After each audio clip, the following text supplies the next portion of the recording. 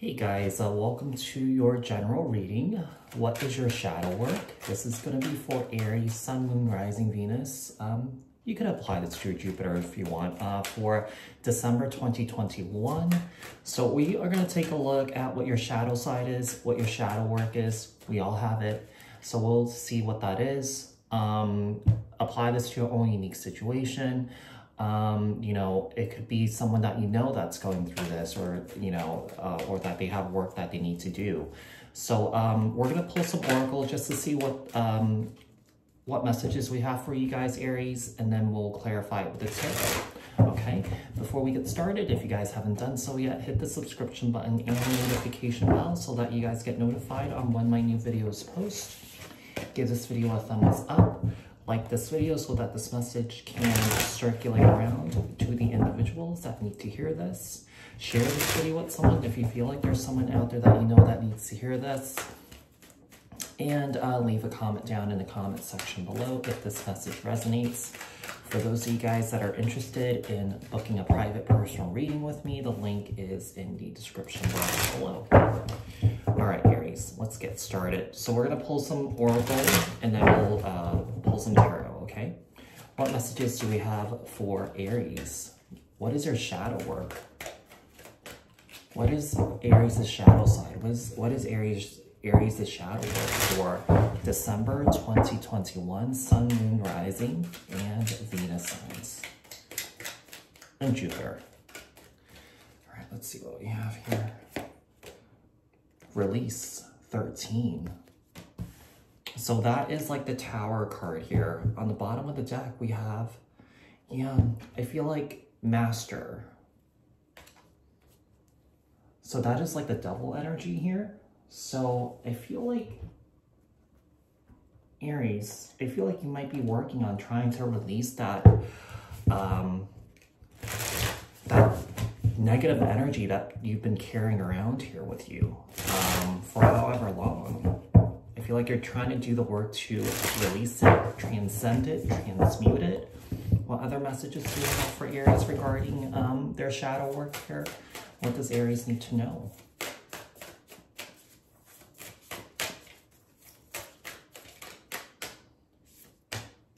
Focus on the positive, yeah. So new moon Sagittarius.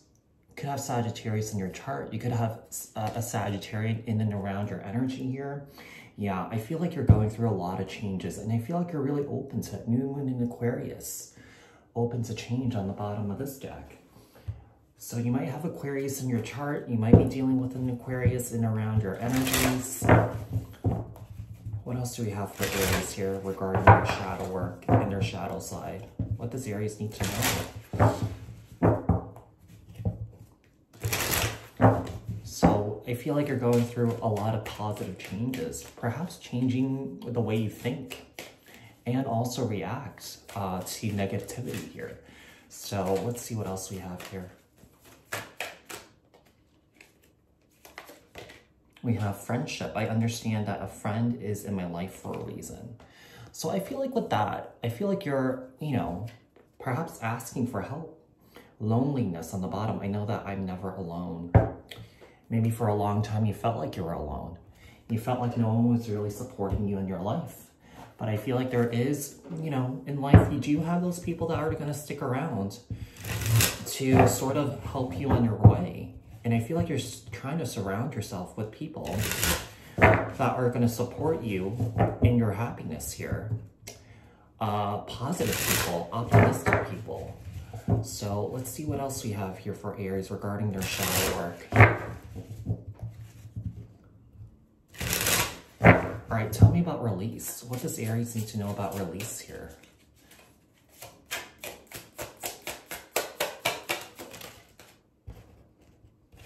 have the Hierophant, Taurus energy. Could be dealing with the Taurus here. You might have Taurus in your chart, but I really feel like you're turning to somebody here for help. This could either be a therapist, a spiritual advisor, um, Four of Wands. So that this is an indication that you could also be releasing a toxic relationship too. Uh, uh, uh, uh perhaps a toxic marriage here that you've been in for a long time. Um, tell me about focus on the positive. All right, Seven of Swords.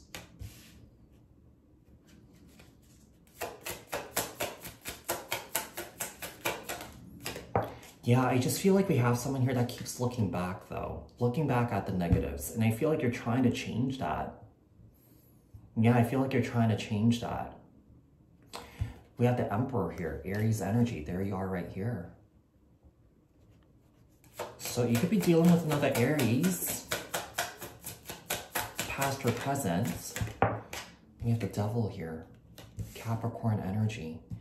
Yeah, I just feel like you're in this energy of really releasing negativity in your life. And really trying to look forward. Trying to look forward here. Let's see. In the Three of Swords. Yeah, I feel like you are also maybe changing your friend group too. Perhaps you were surrounding yourself with people that have hurt you in the past. And I feel like you're trying to heal from that. Um, you know, your shadow work dates back to, you know, you know, all the stuff that you've accumulated throughout your life. A lot of this could also be ancestral and uh, generational. What else do we have for Aries here? Tell me about the Hierophant and the Four of Wands. The Tower. Aries, Scorpio energy you're going through a lot of positive changes here, Aries. I mean, this is looking really, really good. And I feel like, you know, it hasn't been the process. You know, healing doesn't happen overnight. So, and everyone's on a different timeline. We have the Three of Wands here with the Seven of Swords and the uh, Emperor.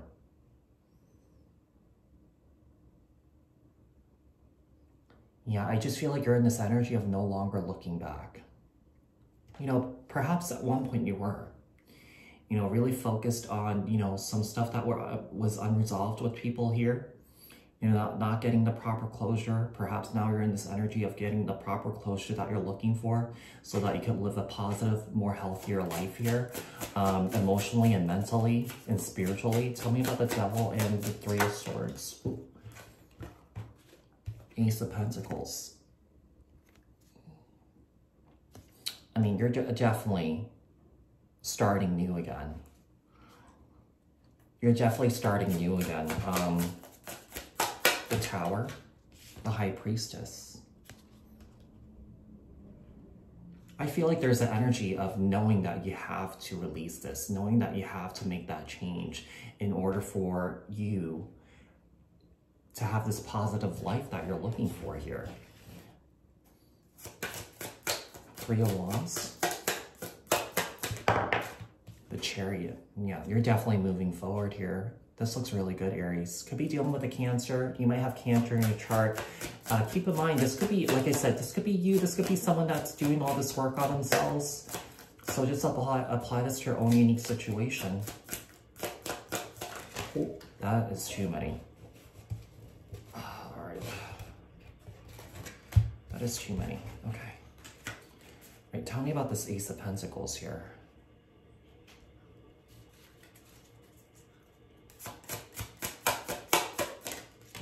Five of Pentacles.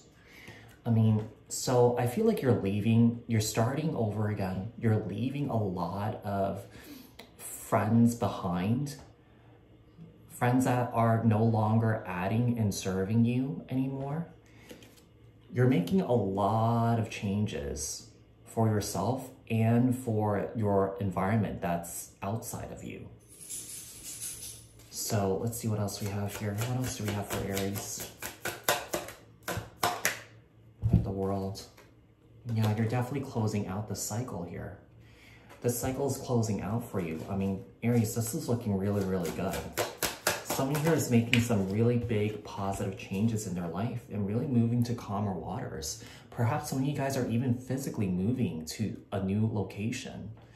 Um, perhaps maybe somewhere, uh, you know, a different state, a different city, a different country, different continents.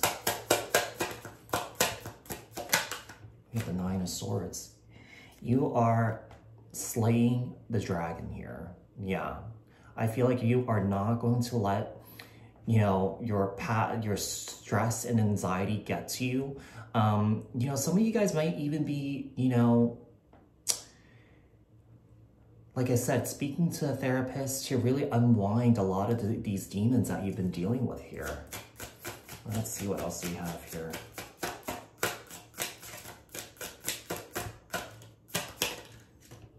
Got the Eight of Wands.